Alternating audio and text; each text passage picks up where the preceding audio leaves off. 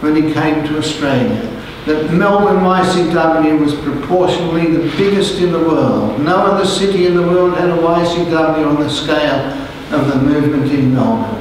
The YCW here developed as I dreamt about it.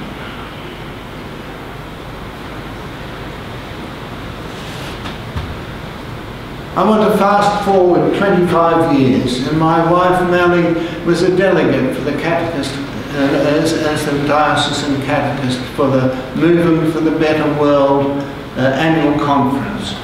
She was approached by a strong, articulate mother who said, Mrs. Parer, do you know a Father Parer? I'm his wife, he's my husband. Sandra Morgan then told of the YCW chaplain in Yarraville and the impact on the young girls' lives. She was still drawn by the simple ideology of Jesus in that family and workplace. Such was and is the power of card life. As I say, are these the musings of an 84-year-old? The answer is yes, yes. Sadly, the ideology of the forces of evil are against it. If I can, I want to make two observations. Here I am in the front line as a chaplain in Vietnam, in the war against the Viet Cong. I was born six years before the Second World War. I lived through Mao Zedong, Korea, Pol Pot, Kuwait, Iraq, and now the Islamic State, and unfortunately the detention centres. I see in all these ideological battles, and we still think we can win them out of the barrel of a gun. That's my first observation. My second is in, in Vietnam, I came to know Father uh, Francis Thuan, who was tragically made coadjutor Archbishop of Saigon six days before the Americans withdrew.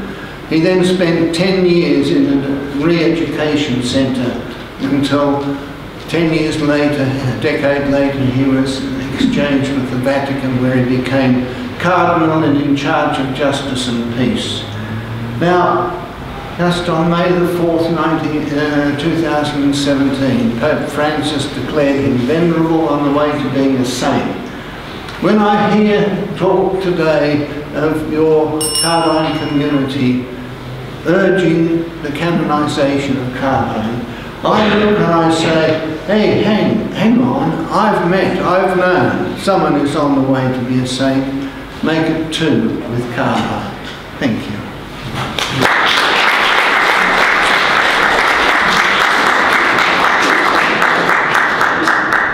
Thank you very much, Mark. Uh, The only one at the time. If he's on, you're not. You can't be on. thanks, Mike. Um, a great view from the from the grassroots right down there. Makes reminded me of uh, the Victoire Cappe, starting starting with young girls. So, are there any questions for Mike?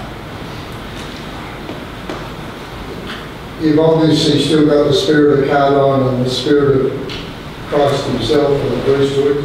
You may not be a, a bishop, but you've still got it in your guts. You're still doing the same work. I think my mother had uh, ambitions that I'd be a bishop, and my wife tells me I would have been a bishop of the utterly worst kind.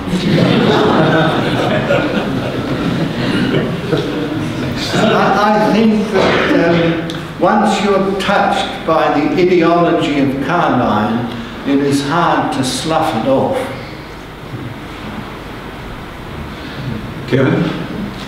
Uh, Kevin Ford.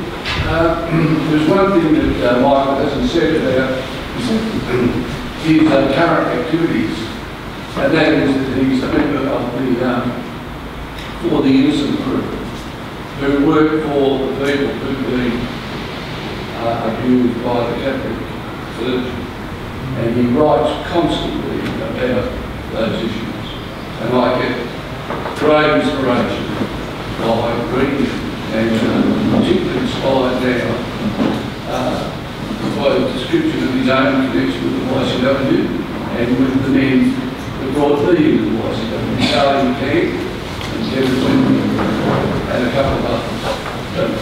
spoke about it. uh, I can see the influence of Cardijn at 84 years still burning on. Thanks, Kevin. Thank you, Kevin. Six years ago, I joined COIN, Commission of Inquiry Now, before the Victorian Parliamentary Committee of Inquiry and before the Royal Commission.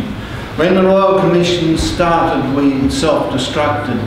But I'm also, and have been, a member For the Innocents, which focuses on healing strategies of victims.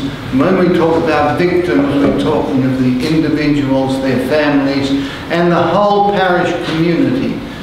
But I'm also a member of the Melbourne Victims Cooperative, um, focused for me on looking to strategies, and I'm working I think successfully, I hope successfully, that in the rebuilding of St James Garden Vale, the southern transept will be set up as a garden of healing, of reconciliation, as has John, John uh, Crowley at St Pat's Ballarat.